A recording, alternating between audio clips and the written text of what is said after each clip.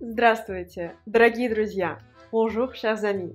Et bienvenue dans ce nouveau cours de russe où nous allons apprendre à conjuguer au futur les verbes perfectifs russes. Dans les cours précédents, nous avons appris avec vous à conjuguer au présent les verbes russes de la première et de la deuxième conjugaison, à conjuguer au passé tous les verbes russes et à conjuguer au futur les verbes imperfectifs. Après ce cinquième et dernier cours de ma série de leçons sur les verbes russes, vous aurez déjà les connaissances de base pour conjuguer les verbes russes.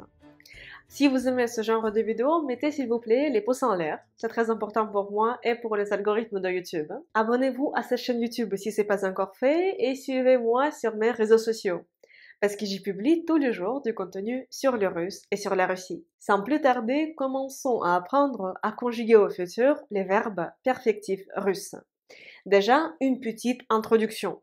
Qu'est-ce que c'est que les verbes imperfectifs et les verbes perfectifs En gros, pour chaque verbe français, il existe un russe deux verbes. Prenons le verbe cuisiner. Un russe sera готовить, приготовить. Готовить étant le verbe imperfectif et приготовить c'est un verbe perfectif. Quelle est la différence Les verbes imperfectifs, ils désignent le processus d'une action. Par exemple, Я готовила ужин. Je cuisinais un dîner. Ça décrit le processus. Et souvent, les verbes imperfectifs, par exemple, se traduisent au passé par l'imparfait. Alors que le verbe perfectif désigne le résultat d'une action. Donc la phrase Я приготовила ужин.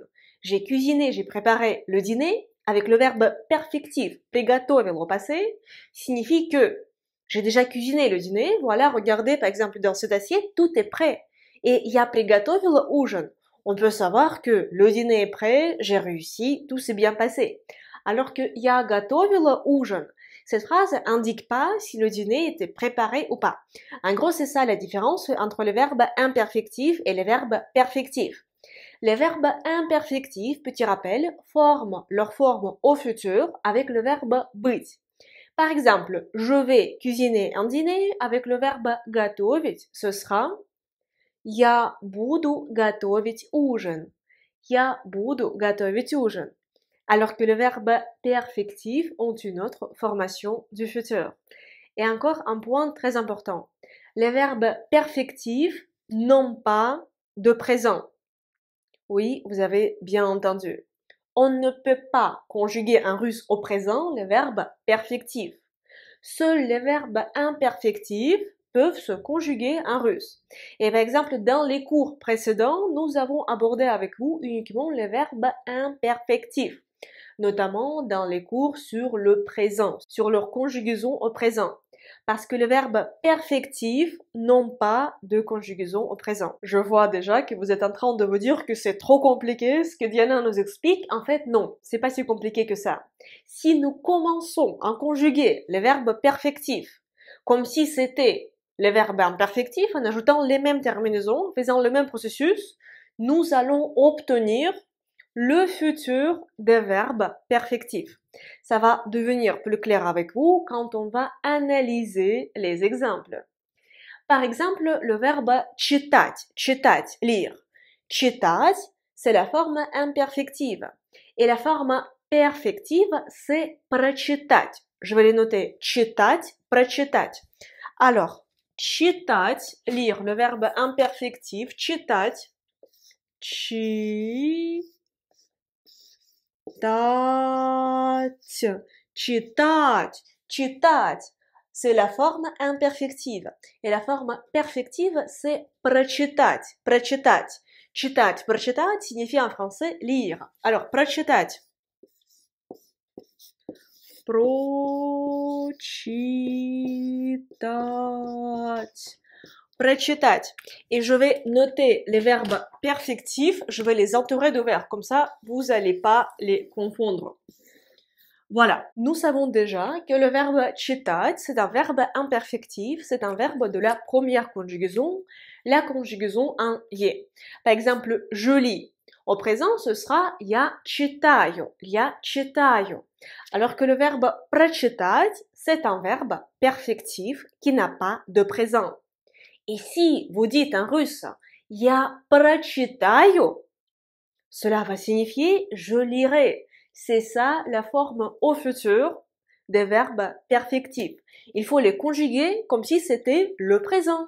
Et nous obtenons le futur. C'est-à-dire, il ne faut pas en prendre une nouvelle forme de conjugaison, il suffit de le mettre au présent et ça va être le futur des verbes perfectifs parce que les verbes perfectifs n'ont pas de présent. Et d'ailleurs, ça paraît même logique parce que les verbes perfectifs, vous pouvez penser au mot perfection. La perfection, c'est le résultat. Et au présent, on ne peut pas obtenir le résultat. On peut obtenir le résultat soit au futur, soit au passé. Alors qu'au présent, nous sommes toujours en train de faire une action. Et il n'y a pas de résultat. Vous voyez, c'est logique. Et si vous souhaitez apprendre la logique russe, notamment la logique des verbes russes, la logique des cas russes, nous le faisons en détail doucement dans le cadre des cours quotidiens de russe. C'est mon programme personnel d'apprentissage de russe en continu. Une nouvelle session commence chaque premier du mois. Pour nous rejoindre, vous pouvez cliquer sur le lien dans la description de cette vidéo. Et revenons au verbe читать, прочитать. Si vous dites en russe ты читаешь, cela va signifier tu lis, ты читаешь, tu lis, verbe imperfectif. Alors que si vous dites ты прочитаешь avec le verbe прочитать, ты прочитаешь, cela va signifier tu liras. Ты прочитаешь, tu liras, verbe perfectif. Она читает, elle lit. Она читает. Alors que si vous dites она прочитает avec le verbe perfectif. Она прочитает. Cela va donner elle lira. Au futur, elle lira. Ensuite, мы читаем, nous lisons. Мы читаем. Alors que мы прочитаем, nous lirons. Мы прочитаем au futur, nous lirons. Вы читаете, vous lisez. Вы читаете. Au futur, avec le verbe perfectif, ce sera Вы прочитаете, vous lirez. Вы прочитаете. Они читают, ils lisent. Они читают au présent. Они прочитают au futur, ils, elles liront. Они прочитают. Prenons le verbe suivant. Écoutez. Écoutez, la forme imperfective, ce sera слушать, alors que la forme perfective, ce sera послушать. Слушать, послушать. Et ensemble, un verbe imperfectif et un verbe perfectif qui ont le même sens forment un couple aspectuel. Ces deux verbes, on les appelle en russe un couple aspectuel. Слушать. Écoutez, imperfectif. Послушать. Écoutez, perfectif. Je vais les noter. Слушать, послушать. Alors, слушать. Слушать.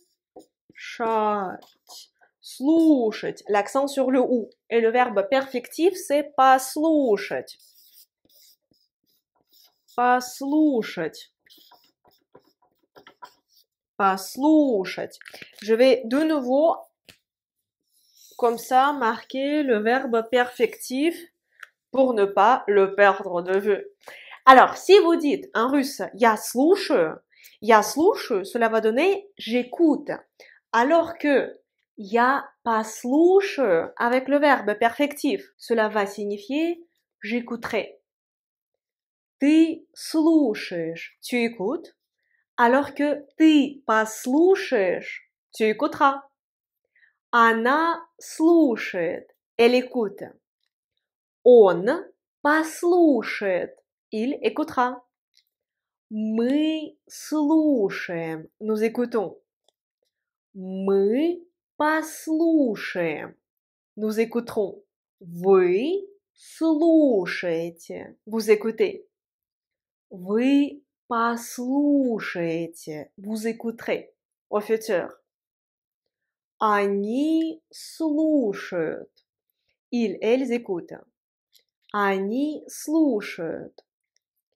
Они послушают, послушают la forme au futur. Pour bien apprendre cette règle, prenons encore un couple aspectuel pour le verbe penser. Penser, c'est думать, la forme imperfective, et подумать, forme perfective. Думать, imperfective, подумать, perfective. Je vais les noter. Думать, думать, penser, réfléchir, imperfective.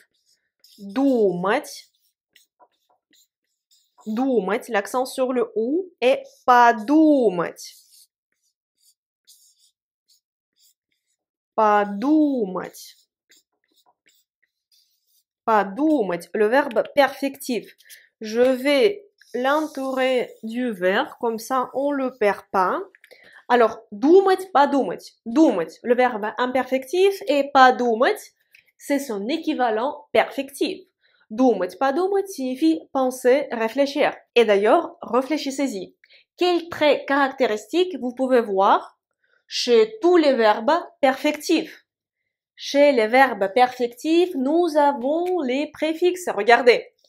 Прочитать, послушать, подумать. Ces verbes-là, les verbes perfectifs, dans les 99% des cas en russe, ils sont plus longs et ils ont des préfixes. C'est-à-dire, euh, ce sont quelques lettres qu'on ajoute devant la base, devant la racine de ce verbe.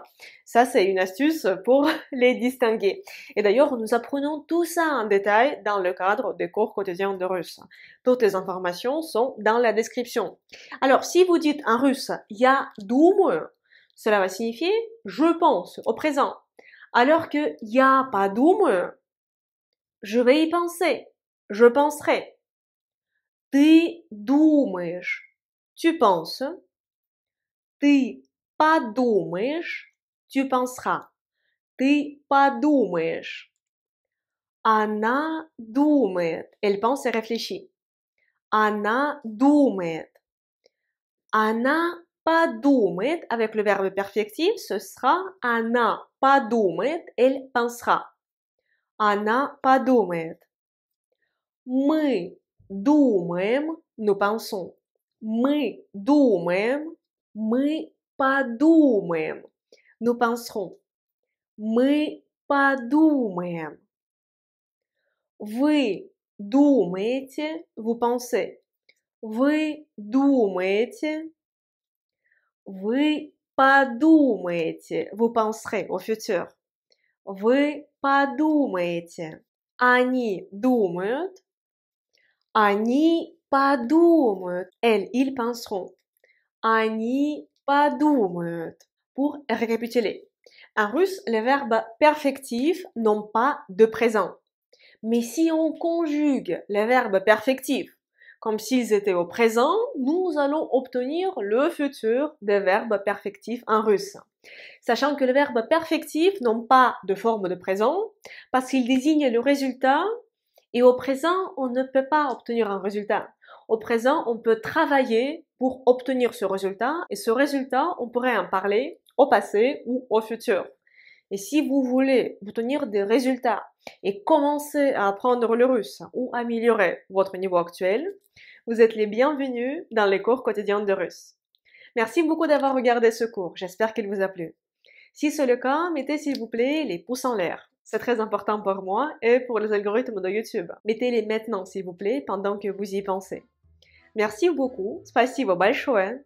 Abonnez-vous à sa chaîne YouTube si ce n'est pas encore fait et suivez-moi sur mes réseaux sociaux parce que j'y publie tous les jours du contenu sur le russe et sur la Russie. J'espère vous revoir très bientôt dans une prochaine vidéo sur ma chaîne YouTube, sur mes réseaux sociaux ou peut-être dans mon école de russe en ligne. Le lien est dans la description. Et pour l'instant, je vous dis, da svidanie, au revoir.